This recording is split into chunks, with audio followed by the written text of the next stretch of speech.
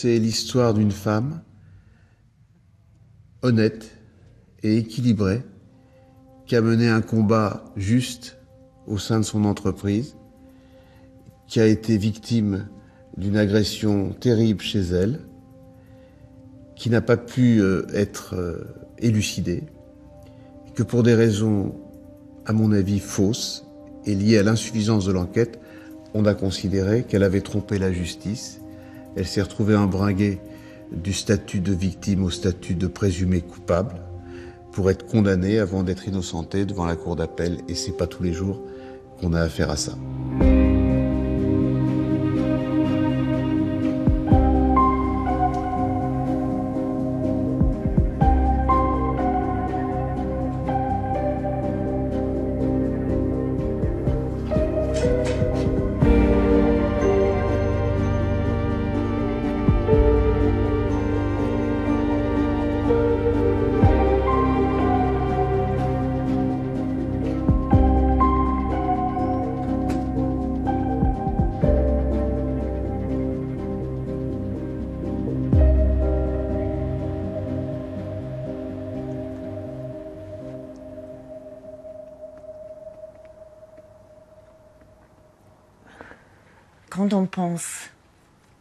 À la mort, il n'y a pas de mots assez forts pour exprimer la terreur qui vous prend.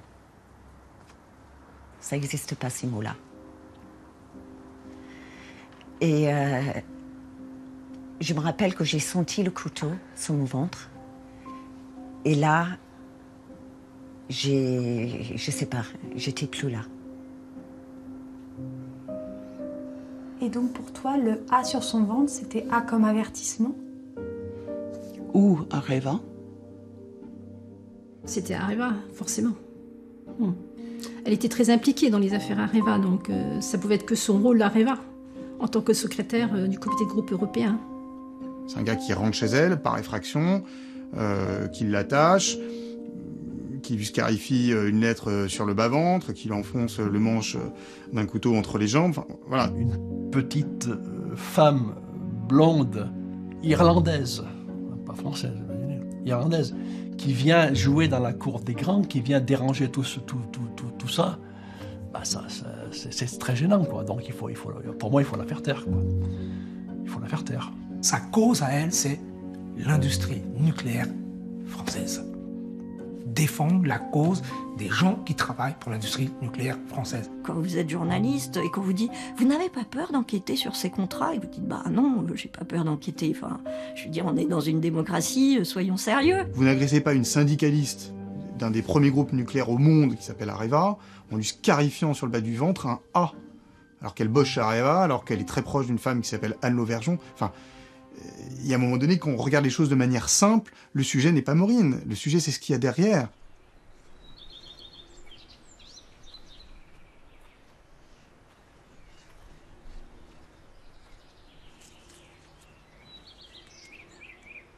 J'ai travaillé chez Areva quand j'étais enceinte de ma fille, 87.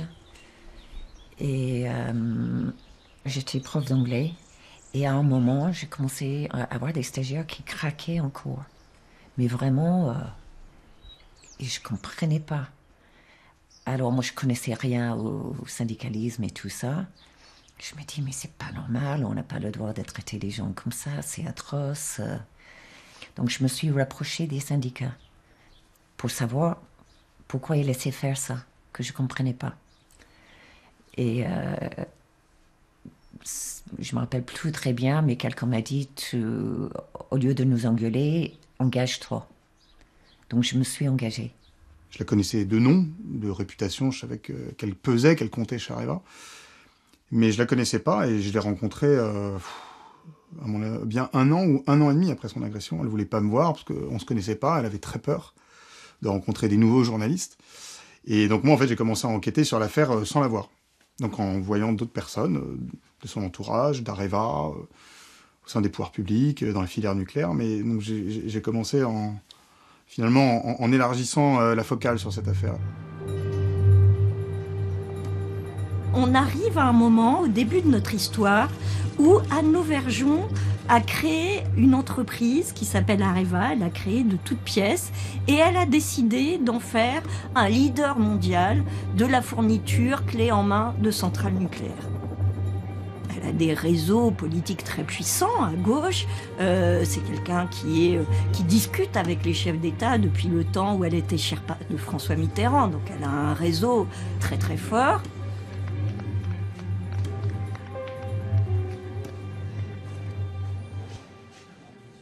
Nicolas Sarkozy fait le choix de nommer à la tête d'EDF euh, quelqu'un qui est tout aussi puissant en termes de réseau, euh, qui s'appelle Henri Proglio, qui sort de Veolia. Veolia, c'est l'héritier de la Compagnie Générale des Eaux. On ne fait pas mieux en termes de, réseau politique euh, en France. Et ce que les deux visent, c'est évidemment le marché nucléaire chinois qui est l'Eldorado des 30 prochaines années les Chinois prévoient de construire, à l'époque en tout cas, euh, on parle de 50, 80, 100 réacteurs à horizon 20-30 ans, donc c'est des marchés de plusieurs centaines de milliards d'euros. Enfin, à l'époque, on parle de 500 milliards d'euros. C'est ça l'avenir du nucléaire chinois. Henri Proglio, il n'a même pas pris les manettes d'EDF. Sa première interview, c'est pour dire créer Areva, c'était une erreur. Ils doivent redevenir euh, les fournisseurs d'EDF qui n'auraient jamais dû cesser d'être. Euh, et là, c'est la guerre.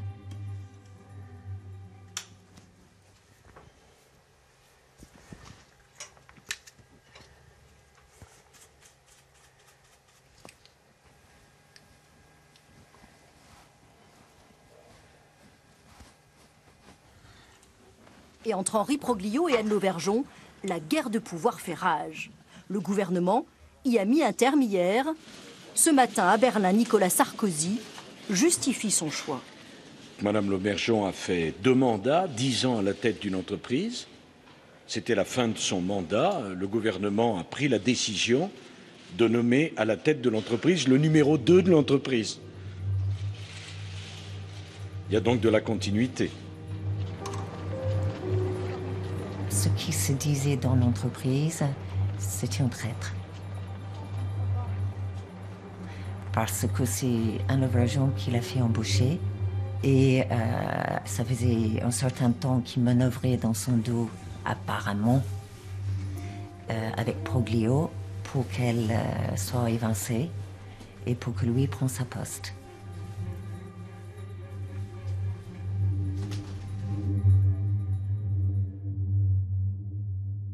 Je n'aimais pas, j'étais pas très à l'aise et j'étais angoissée avec sa façon d'être. Mais avoir peur de lui. Il t'impressionnait pas beaucoup? Non. Qui t'impressionnait, toi? Qui m'impressionnait? Nelson Mandela. Voilà, Desmond Tutu. Martin Luther King. Barack Obama pendant un moment. Voilà, ces gens-là, euh, j'ai grandi.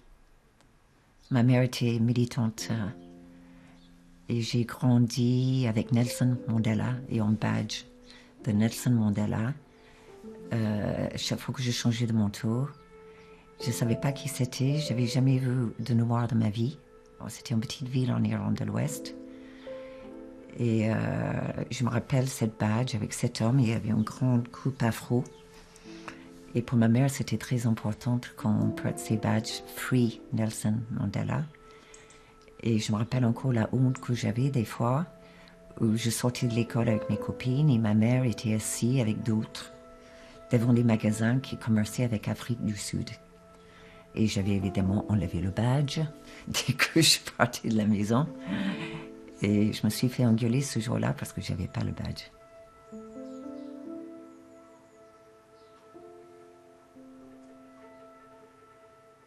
Donc ça, c'était des, photos, euh, là, cette photo devant la tour. C'était une photo en réunion de Maureen. Voilà, par exemple, ça, c'était dans, un séminaire sur l'égalité homme-femme au niveau européen. Euh, en juin 2012, six mois avant son agression, ça. D'accord? Elle, faisait son boulot de, de, syndicaliste, c'est-à-dire d'aller titiller son patron, mais évidemment, elle était alimentée par, euh, par Anne Lauvergeon, et ça, tout le monde le savait en interne. Donc oui, euh, Courcel, quand il voyait Maureen, il voyait euh, Anne Lauvergeon. Je pense qu'il s'est senti vraiment entouré par des gens qui étaient plutôt des adversaires plutôt que des, des collègues. Et ce qui explique un peu son, sa position difficile et ses réactions euh, de méfiance vis-à-vis un peu de tout le monde. Et bien sûr vis-à-vis des syndicalistes aussi. C'était tendu, c'était tendu parce que bon, je pense que euh, bon, Luc Courcel, c'était quelqu'un d'assez euh, direct et assez, euh, il était quand même assez autoritaire, donc voilà. Et donc je pense qu'il aimait pas beau, beaucoup que Maureen euh, conteste en fait des questions de politique industrielle. J'étais prof d'anglais. J'étais pas technicien, je connaissais rien et pour qui je me prenais. Il y a, où de ça tu n'as, Toi, tu n'as pas le droit de me questionner. C'est moi, je prends les décisions, c'est les bonnes. Et on n'a pas à remettre en question quoi que je fasse.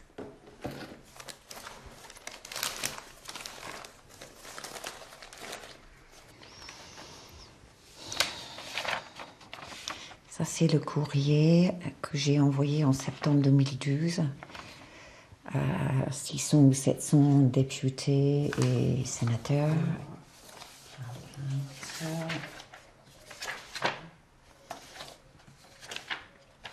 Ah, là, on a le contrat. Framework Agreement for Implementation of the Global Partnership Agreement. Il y a tellement de choses euh, dans ce contrat que je vais souligner. Je ne vais pas tous les lire, c'est, incroyable quoi. Maureen m'a expliqué euh, donc c'est sur quoi elle travaille. Elle récupère un dossier euh, donc qui lui est déposé dans sa boîte aux lettres. Et elle me dit écoute je préfère que tu en aies un double on ne sait jamais euh, on ne sait pas ce qui, peut arriver je peux le perdre je peux me faire voler euh, mon sac. Donc au moins tu en auras un double. Donc ce dossier je l'ai récupéré. Il est resté je crois pendant cinq ans dans le, coffre de ma voiture, donc je l'avais, je l'avais caché. Elle en avait parlé à l'époque à Bernard Cazeneuve. Elle avait commencé à, à prendre en fait des contacts pour demander des explications.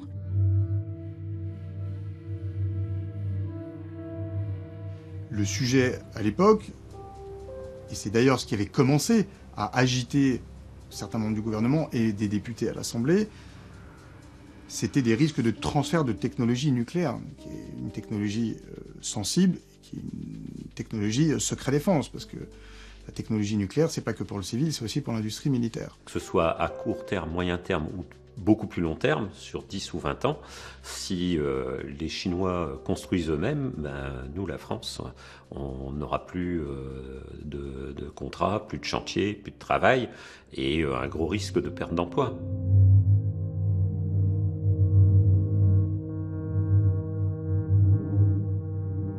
Ceux qui sont très inquiets, ce sont les salariés euh, d'Areva et les ingénieurs d'Areva. Ils ont l'impression qu'on est en train de leur piquer leur technologie. Ils vont en Chine, il y a des salons euh, de l'énergie nucléaire, des spécialistes de cette euh, technologie-là, et ils découvrent des brochures qui sont copiées-collées de ce, euh, ce sur quoi ils sont en train de travailler en France. Ils me le raconteront, ils me le montreront, ils ils me diront, regardez-nous, c'est un fond rouge, les Chinois, c'est un fond bleu, mais c'est la même chose. Donc, euh, si vous voulez, de manière parallèle, elle et moi, on est euh, le réceptacle de cette inquiétude et de cette incompréhension.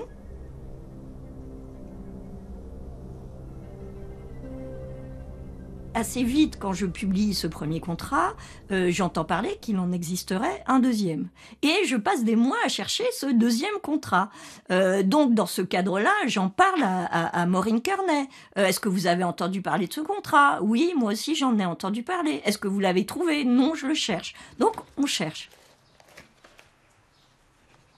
Il n'y avait rien qui me faisait peur. Je pensais que les valeurs et les principes, certains étaient universels. Et, euh, comment dire, la corruption, si on le voyait, il faut le combattre. Et en fait, je me suis rendu compte, quand on dénonce la corruption, c'est toi qui deviens le problème. C'est pas la corruption qui est un problème, c'est la personne qui la dénonce.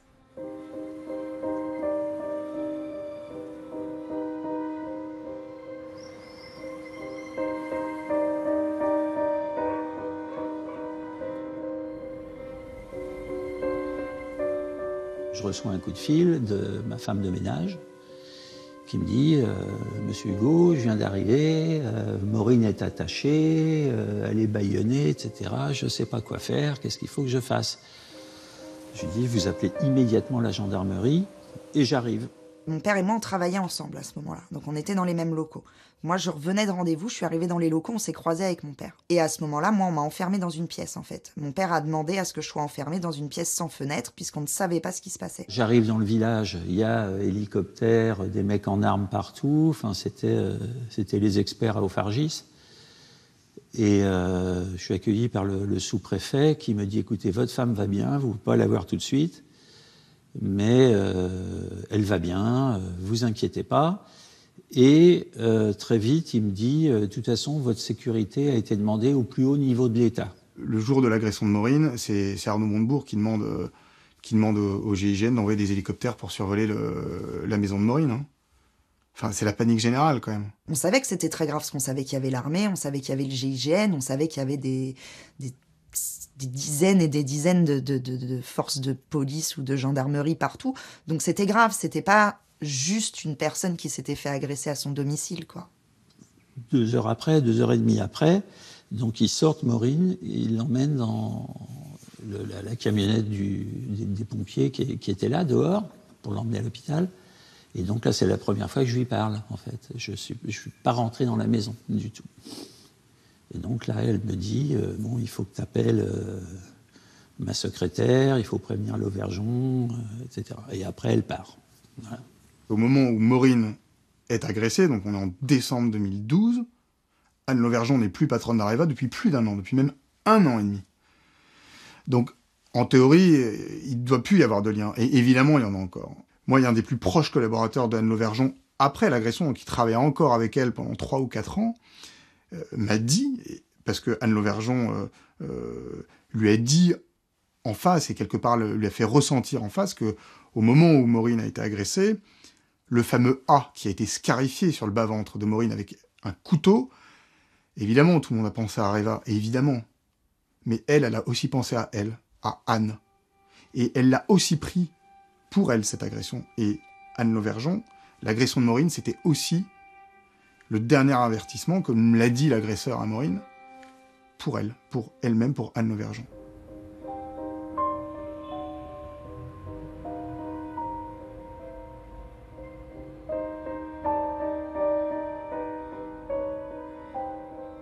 J'arrive sur place. Euh, Il y a effectivement tout autour de la maison, à 50 mètres, un cordon de la gendarmerie euh, qui protège les allées et venues euh, autour de la maison. Et puis, euh, tout de suite, je rentre et je me retrouve, je crois, dans la pièce principale, dans, le salon. Et euh, il y a une personne, une femme qui, voilà, qui vient vers moi et, pendant quelques secondes, j'ai du mal à reconnaître Maureen la colère monte pour moi, la, la- colère et puis l'indignation, parce que euh, confusément, moi, je fais le lien. Je dis, c'est pas, c'est pas possible, c'est pas une coïncidence. Ou alors, comme je dis souvent, trop de coïncidences tue le hasard. C'est pas possible que ce jour-là se produit euh, un tel drame. Parce que dans ma tête, j'ai la chronologie, moi, des événements.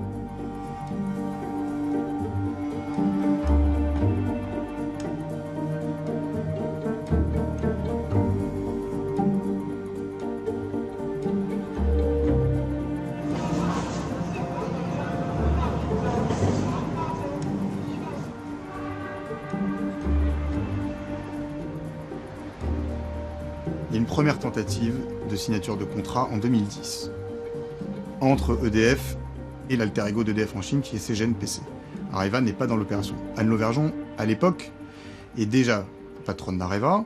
Elle est évidemment au courant de la signature euh, ou de la tentative de signature d'un tel contrat et elle fait capoter la signature du contrat en intervenant auprès du Premier ministre de l'époque, François Fillon, euh, pensant d'ailleurs que euh, le réseau autour de François Fillon euh, euh, euh, fera en sorte de faire capoter une opération qui est plutôt défendue par le PDG d'EDF de l'époque, Henri Proglio, lui-même proche plutôt du président Nicolas Sarkozy. Donc il y a aussi, c'est aussi ça qui s'oppose là-dedans. Donc là, cette première tentative de signature de contrat en 2010 échoue. Et puis ça revient ensuite en 2011. Et quand on arrive en 2012, on est toujours sur un contrat entre EDF et la Chine. EDF négocie avec les Chinois en disant pas de problème, on va vous donner la technologie. Mais EDF n'a pas de savoir-faire de conception euh, du nucléaire. C'est un assemblier d'une certaine manière. Celui qui, a la technologie des, des réacteurs, c'est Areva. Alors c'est vrai que ça paraît assez dingue. On m'a souvent euh, posé la question comment c'est possible, et c'est exactement la question que je me suis posée pendant toutes ces années. Comment c'est possible? Mais le fait est que c'était en cours.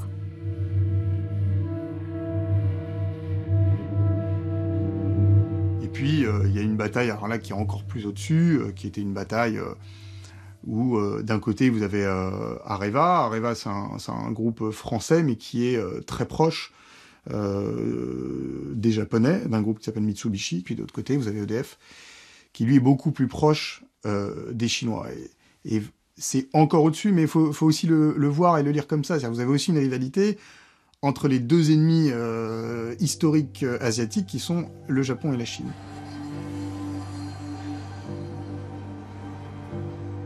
Auparavant, les contrats, Areva n'était pas dedans parce qu'il y avait une rivalité, il y avait une, vraie guerre entre EDF et Areva. À du moment où Anne Lauvergeon se fait virer, il n'y a plus de rivalité. Le Courcel euh, fait ce que EDF lui demande. Parce qu'on veut bien travailler avec les Chinois. La question, c'est pas de savoir s'il faut travailler avec Chine. On a déjà fait des réacteurs en Chine. Euh, on, leur a, on, leur vend du combustible ou de la matière. Donc, travailler sans la Chine, c'est pas non plus très raisonnable. Je veux dire, nous, notre but, c'est pas de dire ah, on est des affreux euh, corporatistes ou euh, on veut que uniquement du franco-français partout. Ça n'existe pas, c'est pas vrai. Donc, c'est pas ce qu'on demande. Mais on voulait que ça soit dans des conditions où les emplois français soient défendus. Quand les socialistes ont été élus au pouvoir en 2012, vers le mois de juin-juillet, Bernard Cazeneuve m'appelle en me disant qu'il fallait concevoir d'urgence. C'était très important. Donc on a pris rendez-vous et je suis allée avec euh, Jean-Pierre Bachmann, le responsable CFDT d'Areva. Et en fait, Cazeneuve nous a dit il y a un nouveau contrat les négociations ne se sont pas arrêtées. Ça a continué et c'est vraiment très mauvais pour Areva. Moi, ce qui m'importait dans cette affaire, c'était, un, de savoir ce qui se préparait, parce que j'estimais que la représentation nationale devait être informée de ce qui se préparait, que les acteurs euh, syndicaux devaient être informés de ce qui se préparait, et euh, par ailleurs, j'étais préoccupé euh, de voir la France maintenir sur des sujets sur lesquels elle avait une avance technologique, elle avait des atouts. Elle était euh, au cœur d'une filière de pouvoir défendre ses intérêts souverains, parce que la conception que j'ai eue de ces questions, c'est que la France n'est pas un pays qui peut, au nom de l'industrie euh, sans usine, euh, euh, du grand bain de la mondialisation, brader tous ses intérêts, sans se préoccuper ni du sort de notre indépendance nationale, ni du sort des industries, ni du sort des salariés. Maureen Kearney, elle a d'un côté les parlementaires qui lui disent c'est incroyable, on est au courant de rien, Bernard Cazeneuve qui lui dit vous avez raison de vous inquiéter, moi-même je suis très inquiet. Euh, Arnaud Montebourg qui lui dit Vous inquiétez pas, tout est sous contrôle. Elle a écrit au Premier ministre, Jean-Marc Ayrault. Elle a écrit à François Hollande, qui lui ont dit euh, Ne vous inquiétez pas, tout ça est sous contrôle. Et elle a cette photo qui lui arrive, je crois, le 19 octobre 2012. Et on voit sur cette photo, notamment M. Roussel, le patron d'EDF, à l'époque, M. Proglio, et le représentant au milieu du groupe chinois, CGNPC. Là, Mme Maureen Kearney et le comité européen prennent conscience définitivement qu'ils ont été mis devant le fait accompli. Et que toute l'inquiétude, toute l'interrogation qui était la leur sur euh, l'existence ou pas hein, de ces pourparlers et de cet accord se révèle au grand jour comme étant une véritable supercherie, une véritable mascarade vis-à-vis des représentants du comité européen. T'étais pas étonné finalement? Non, j'étais abasourdi. Ça c'est évident parce qu'on venait de faire un comité de groupe européen plénière où Orsel a dit noir sur blanc, il n'y a aucun contrat, le gouvernement ne permettrait pas. Et je reçois ça deux jours plus tard. Donc... Euh,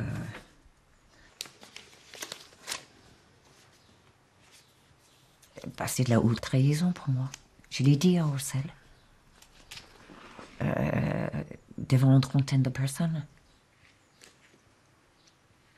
Et euh, je l'ai traité de menteur.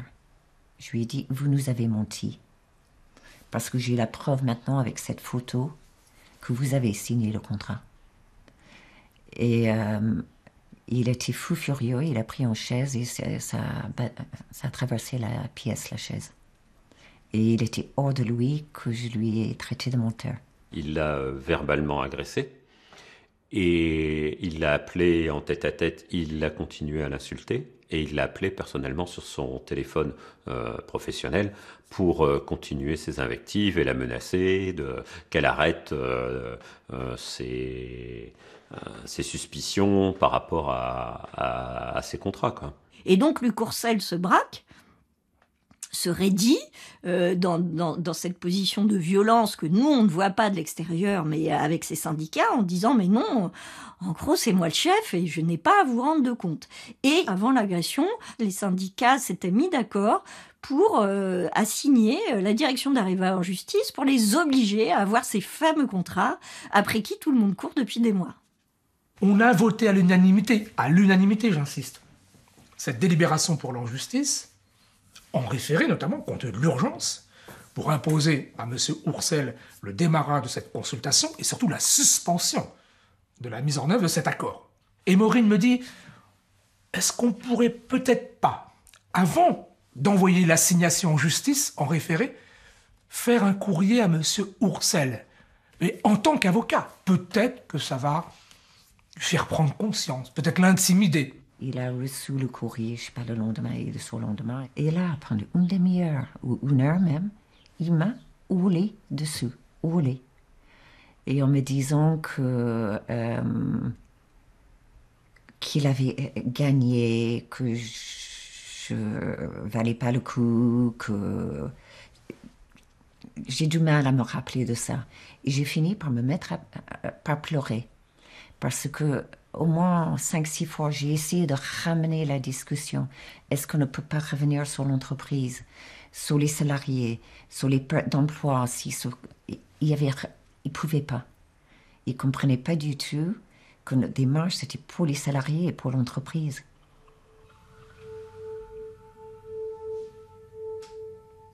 Et là, elle exprime une vraie inquiétude c'est quasiment de la menace, de la menace au sens, mais vous n'allez pas faire ça, vous n'allez pas faire ça. Sous-entendu, vous n'allez pas m'attaquer en justice. Je ne céderai pas. Et évidemment, compte tenu de la personnalité de Maureen Cornet et du fait qu'elle a le soutien unanimitaire de ses collègues et camarades, hein, y compris des Allemands, je y compris des Anglais. J'insiste là-dessus. C'est pas qu'une querelle franco-française, cette histoire. Eh bien, elle résiste.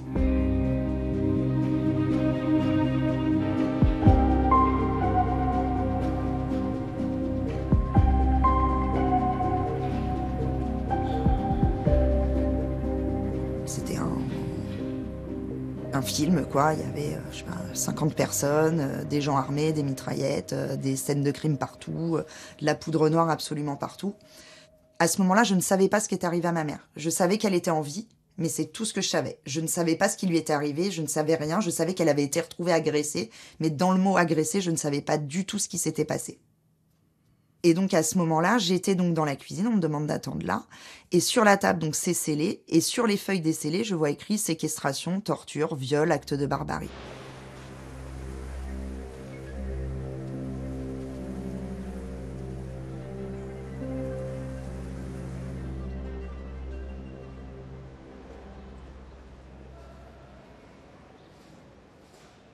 La toute première chose, c'est la le chapeau qui m'a mis et mon cœur qui s'est mis à, battre à 150 à l'heure.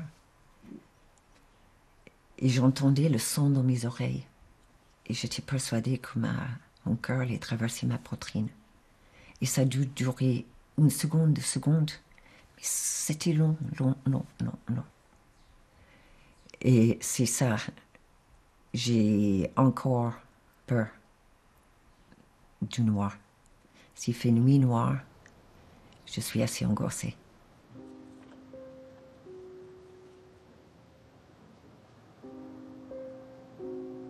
Je suis dans la salle de bain, et j'avais une espèce de rituel le matin. Et euh, la dernière chose que je faisais avant de partir, euh, c'était me laver les dents. Et j'étais penchée sur le lavabo en train de me laver les dents, ayant un trait noir qui me tombe dessus. J'ai senti un truc dans mon dos. J'étais persuadée que c'était un revolver. Donc après, et là j'ai très peu de souvenirs, il m'a traîné, traîné ou emmené ou dans le salon. Et euh, il m'a attaché en chaise.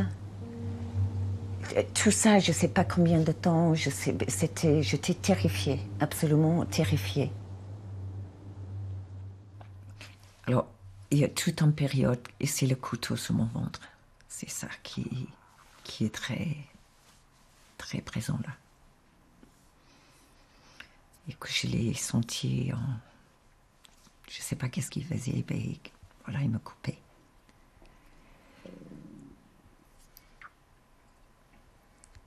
J'avais l'impression d'avoir mes intestins sur mes genoux. J'ai- J'ai senti la chaleur, j'ai tout senti. Il fallait pas que je bouge pour pas qu'il tombe par terre.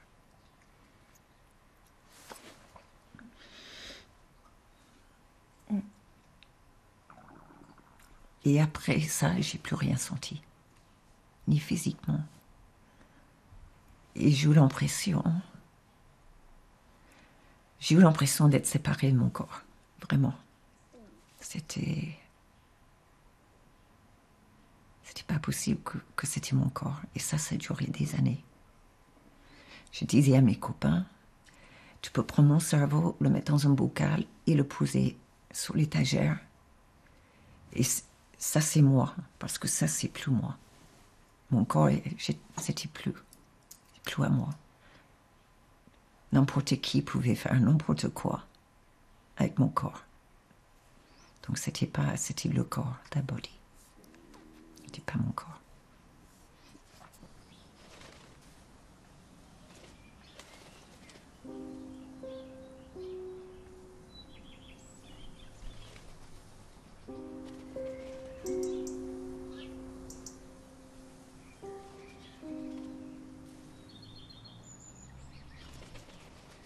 Je l'ai vu, ça m'a fait drôle. Euh, le, vi- le visage euh, dé- défait, quoi. De quelqu'un qui, avait, reçu vraiment un coup, sur, comment dit, un coup sur la tête, quoi, quelque chose de, terrible. Et, je la voyais un peu tremblante. euh, et, elle s'efforçait malgré tout de, me sourire. Ça aurait pu être ah, se lamenter. Non, elle essayait quand même d'être digne, mais mais mais mais elle était pas bien, quoi. Pas bien, pas bien, pas bien. Et on se regardait en disant mais, mais qu'est-ce qui s'est passé? C'est- surnaturel. Et à partir de là, elle a commencé hein, donc, euh, à m'expliquer un petit peu hein, donc, ce qui s'était passé, son, son agression, puisque hum, donc, je, je- n'avais aucun détail. Euh, je ne lui ai posé aucune question. Je l'ai laissé euh, donc parler, s'exprimer, puisque je la sentais profondément traumatisée dans sa tête, dans son corps. Euh, j'avais l'impression en face de moi d'avoir une, euh, une petite chose frêle, euh, toute fine, toute, euh, toute cabossée, qui, qui, essayait de s'exprimer. Elle était plus du tout elle-même. Elle pouvait, elle mangeait pas, elle euh, pouvait pas parler normalement. Elle avait du mal à expliquer ce qui s'est passé. Elle me montrait quelques mots qu'elle s'est écrits euh, pour euh, se rappeler des choses. Euh, mais c'est la première fois vraiment que j'ai vu une personne aussi traumatisée.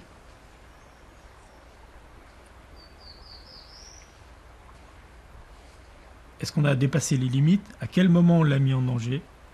Pourquoi on n'a pas cru Parce qu'elle se sentait aussi en danger un peu avant. Et collectivement, nous, CFDT, en tout cas moi et mes camarades, et surtout moi, puisque j'étais son responsable, entre guillemets, on aurait dû faire autrement. Euh, on a une équipe, et donc on protège ses, camarades. Moi encore maintenant, je m'en sens responsable et je porterai ça tout le temps. On aurait pu imaginer, par exemple, que le comité européen euh, saisisse le gouvernement, fasse de cette affaire, de cette agression dramatique et violente, justement, euh, un, moyen ou un levier hein, pour imposer au pouvoir public euh, sous forme de contrainte, hein, de dire au groupe Areva, ça suffit maintenant, vous devez faire la vérité, cette affaire a pris une ampleur insupportable, vous devez, vous voyez ce que je veux dire? Donc ça aurait pu être exploité comme cela. Les jours passent, après les semaines, vous connaissez ce qui s'est passé ensuite, hein, l'enquête, etc. Et c'est là-dessus que la décision est prise de ne pas engager la procédure en référé.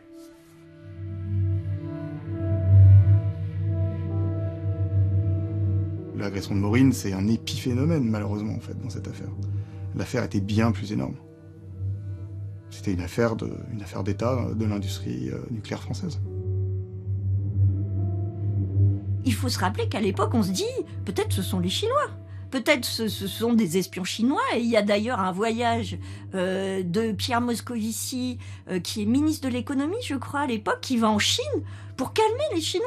Parce que les Chinois disent, mais attendez, euh, ça, enfin, ça crée un incident diplomatique qui dit, attendez, vous êtes en train de dire que c'est nous qui, qui avons agressé votre syndicaliste.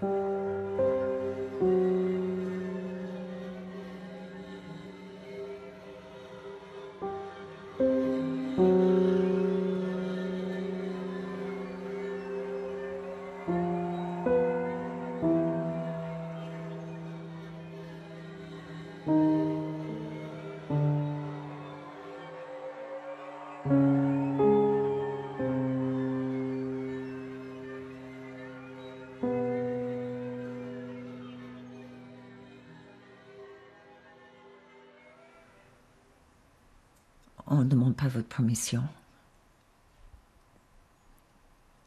On vous met sur une table gynécologique. Et vous, vous n'avez pas envie qu'on vous touche. Et au médecin qui m'examine, et je me suis sentie, mais.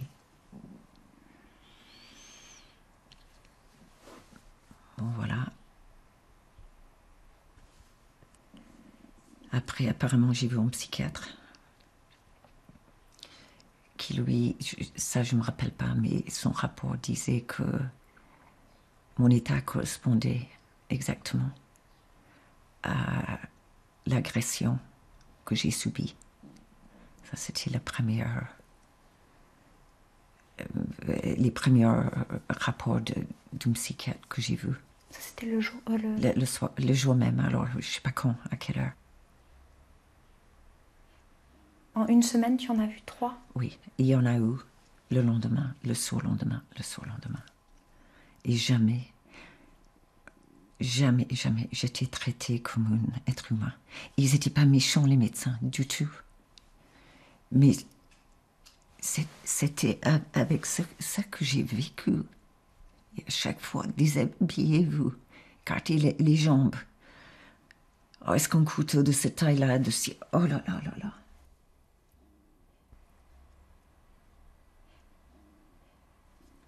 C'était barbare, totalement barbare. Tout était barbare.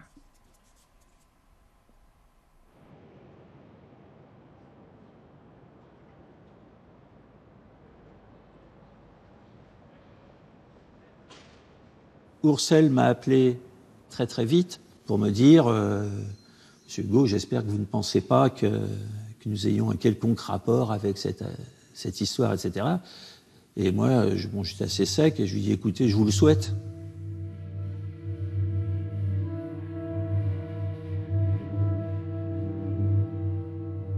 On s'était vu avec la, direction quelques jours après son agression.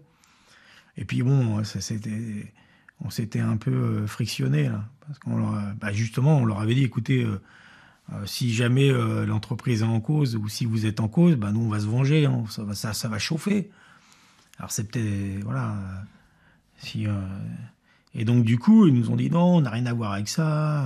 euh, donc c'était, c'était quand même tendu, quoi. Les détails, je les ai appris par la communication interne Areva. Le fait qu'elle avait été trouvée ligotée avec un couteau dans le vagin, enfin des, trucs vraiment qu'on n'a pas envie que tout le monde sache et qu'elle n'avait pas dit elle-même à tout le monde, ce que j'ai trouvé très très choquant. C'est-à-dire qu'au lieu de protéger ses salariés, le groupe, il a carrément tout exposé euh, à tout le monde. Quoi. Enfin, c'est...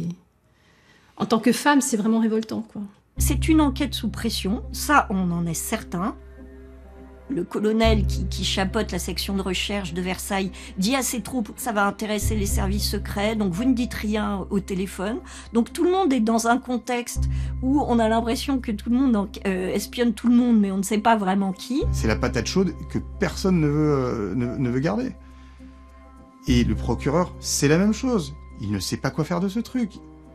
Il voit bien qu'il y a des interventions. Enfin, quand les enquêteurs découvrent Maureen chez elle, en tout cas les gendarmes, euh, ils fouillent son portable. Qu'est-ce qu'ils voient? Ils voient que la veille de son agression, la veille de son agression, elle a échangé des SMS avec Arnaud Montebourg, qui est ministre du gouvernement, avec Bernard Cazeneuve, qui est ministre du gouvernement, qui est député de la Manche, l'un des départements où il y a deux sites nucléaires parmi les plus importants en France, une centrale et, une usine de retraitement d'uranium. Elle échange avec des membres du gouvernement au plus haut niveau.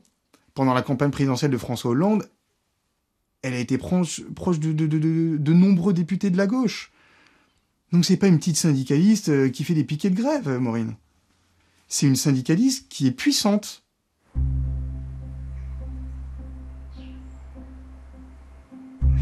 J'ai été protégée pendant plusieurs semaines. Je ne me rappelle pas combien de temps exactement. Et un, jour, euh, ils nous disent euh, euh, la, protection est levée. Je dis donc on risque plus rien. Vous avez avancé dans l'enquête. Qu'est-ce qui se passe?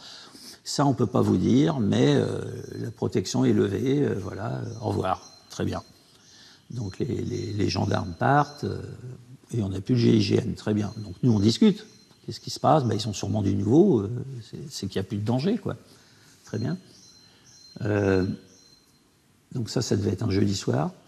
Et le samedi matin, on a un, des gars du GIGN qui, qui était souvent avec nous, qui appelle et qui dit Est-ce que je peux passer vous voir? Dit, ah, Bien sûr, venez.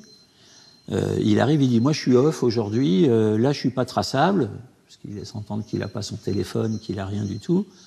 Et voilà, je, voulais de la part de mes collègues vous dire que euh, on est désolé de ce qui est en train de se passer.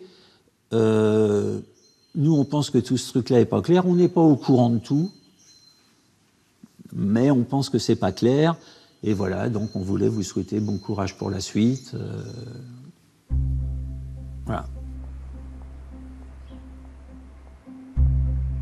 reçoit un coup de fil euh, en fin de semaine en nous disant est-ce que mercredi prochain, 7h30, vous pouvez être à la gendarmerie de Rambouillet?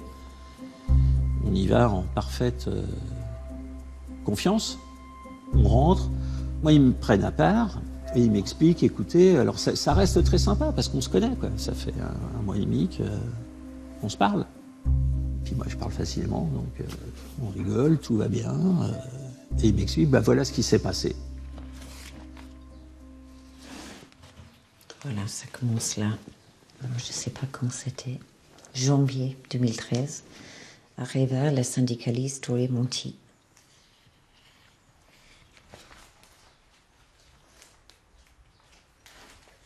Syndicaliste arriva soupçonnée d'avoir inventé son agression. C'est pas grave, hein, monsieur Hugo. C'est effectivement, vu le truc dans lequel elle était, euh, elle a pété les plombs, mais enfin, euh, comment elle s'imagine qu'elle peut traiter avec des gens du niveau de, de Luc Courcel, de Lauvergeon, des ministres euh, Bon, elle était en stress, etc. Elle a pété les plombs. Euh, bon. Voilà, je tombe, de la chaise parce que on voyait les enquêteurs tous les jours, on voyait tout le monde tous les jours. Quoi. Et jamais il y a eu le moindre signe. Le doute, c'est un, truc de folie, quoi. C'est évident, ça, tue la tête, le doute. Alors, évidemment, un moment, moi et c'est ce que je leur dis à la fin, parce que petit à petit, je prends conscience de ce qui se passe. Et euh, je leur dis, écoutez, euh, votre scénario, il se tient, comme plein de scénarios se tiennent. Je peux faire le scénario inverse et il se tient aussi. Je dis, par contre, si c'est ma femme qui a fait ça, alors elle mérite trois Oscars, deux Césars, etc. Et j'y crois pas une seconde.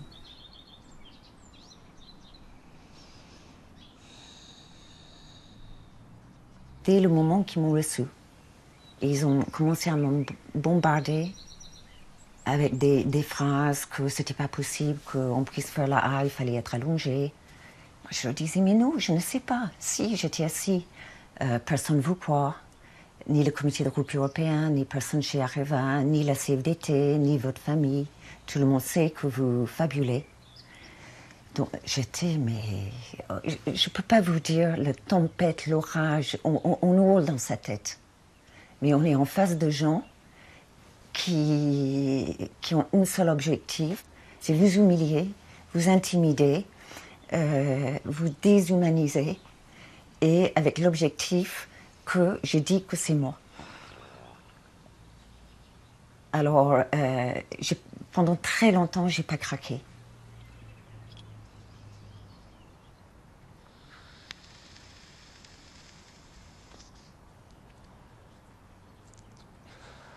Et à un moment, on me laisse euh, tout seul dans la pièce. Et ce type-là, il rentre. Il dit quelque chose du style J'aime pas des gens comme vous, comme toi. Je me rappelle pas si, de ça. Soit vous dites que. Si vous dites pas que c'est vous, le rouleau compresseur de la justice, faire en sorte que ni vous ni votre famille vous relèverez. J'étais prête à dire j'étais Jacques Léventreur. J'étais vraiment prête à dire ça après ça. Fais terroriser. Totalement.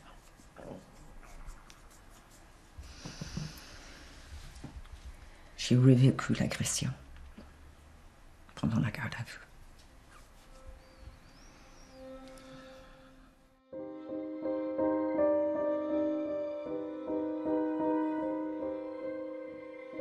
Quand je suis sorti, moi, en fin de matinée, j'avais un message de mon père à genre 8 heures du matin qui me disait qu'il venait d'entendre sur euh, France Info que Maureen était mise en garde à vue.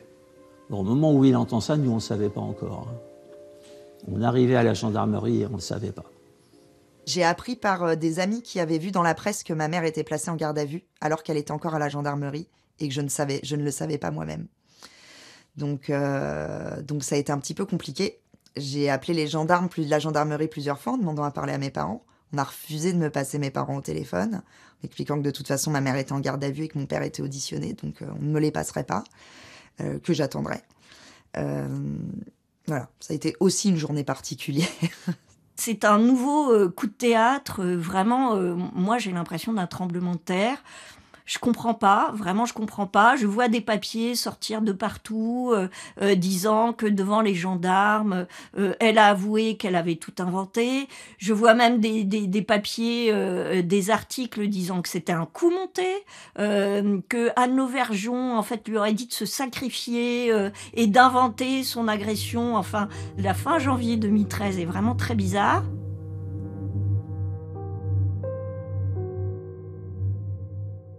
Donc, tu as fait des faux aveux que tu as signés.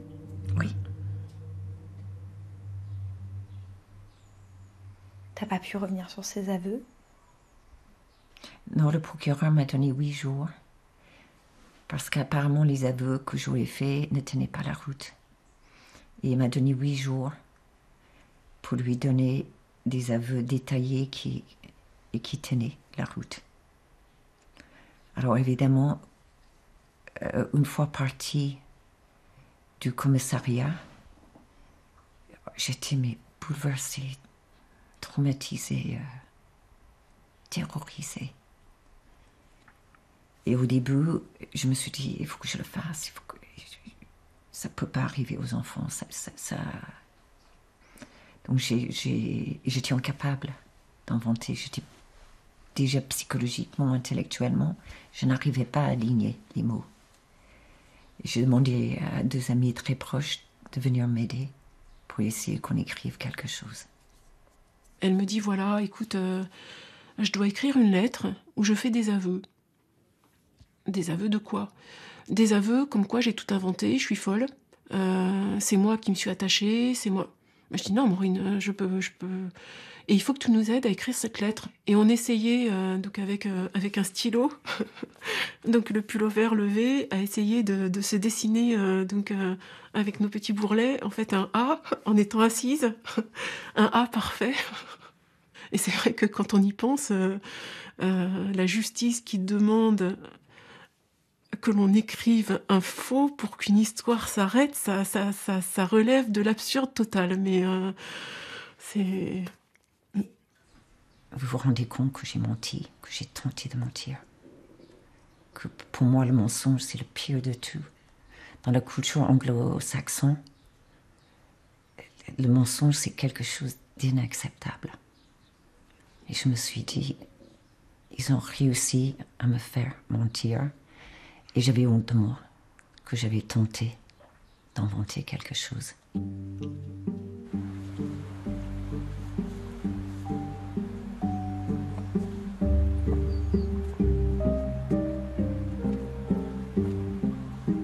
Retourner chez Fontibus, l'avocat que j'avais à l'époque, au bout de huit jours, avec les aveux écrits. Et là, je lui dis, je peux pas, je ne peux pas, je ne peux pas faire ça. Je. Je pourrais plus jamais vivre avec moi-même. D'avoir fait une chose pareille. Donc, euh, j'ai dit à Fontibus, non,